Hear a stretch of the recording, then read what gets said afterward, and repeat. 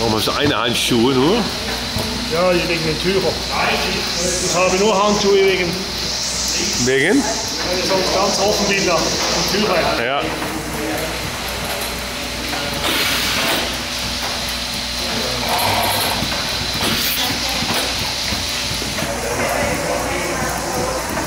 Und das Ding hast du präsentiert bei da zu drücken, oder? Dann drückst du und dann kommt das hoch. Nou, Unterdrücken, hier drücken, dann kommt das Ding hoch. Ja, ja. wenn ich wieder drücke, dann gibt es Vakuum mehr.